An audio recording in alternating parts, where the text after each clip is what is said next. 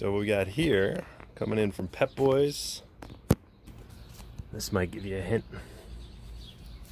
Do a little trailer hitch install. Some heavy duty steel right there.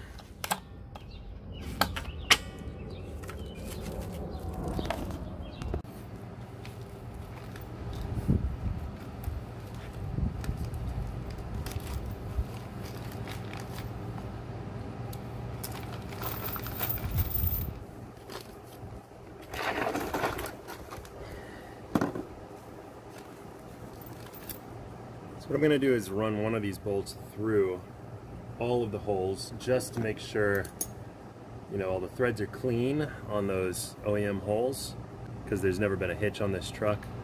Uh, those holes have gotten a little bit rusty so I want to make sure they're nice and clean. I'm just gonna start off lubricating the uh, holes. A little WD-40.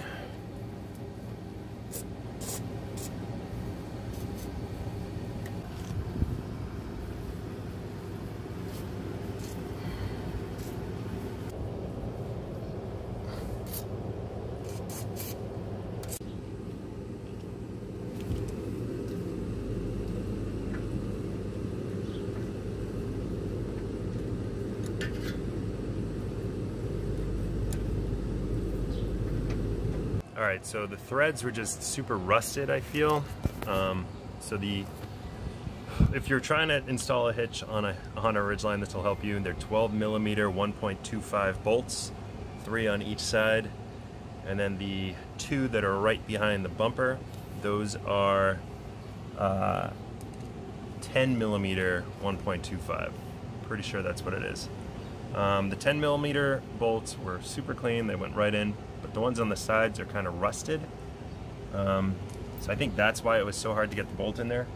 So what I did was I rented a, a tap set and I'm using the 12 millimeter 1.25 tap. I'm just gonna clean out the holes, put the bolts right in.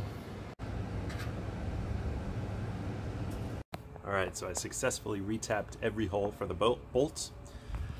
And uh, now it's time to second try putting this hitch on. Let's do it. All right, so I'm all set up. Bolts are ready to go. Now I'm gonna drop the muffler.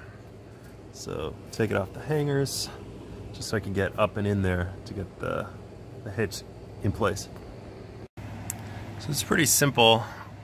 Um, once you have it in place, you have to drop the muffler, drop the heat guard. That wasn't too hard. Now, I just gotta, right now I'm just gonna put one bolt in each section. Then worry about getting the washers in there and everything like that. I uh, just wanna make sure all these holes align.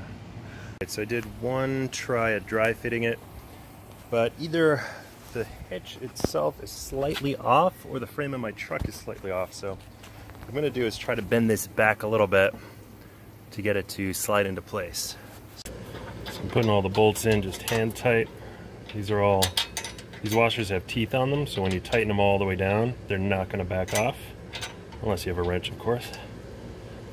Um, so I found out as I was putting it on, either the frame of the truck was bent or the hitch itself was just slightly, slightly bent. So I had to take it off, whack it with a sledgehammer a few times. I had to whack the side arm outwards.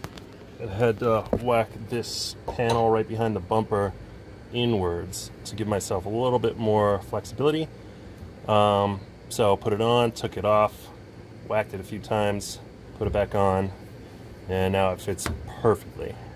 So I'll finish up these bolts. Got my torque wrench set. Um, so it's gonna be 72 on the wings and 46 on the, uh, the middle part of the hitch. So I'm just gonna torque these bolts down to spec. And there you have it. Just like that, we got a hitch. I rehung the muffler. Everything is torqued down. This baby's ready to tow a boat.